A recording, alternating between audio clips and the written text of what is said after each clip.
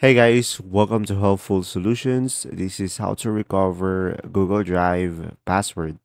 So first one is visit the Google Drive account recovery page and after that just simply provide the email associated with your Google account and click next.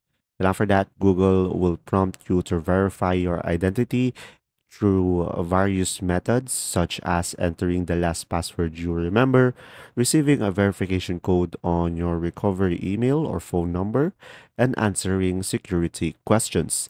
And now, once you are verified, you'll be prompted to create a new password and just simply enter your new password and just simply confirm it.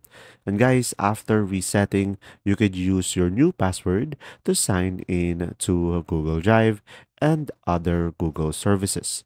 And there you go. I hope this video helped you understand more. If you do, leave a like. Thanks for watching.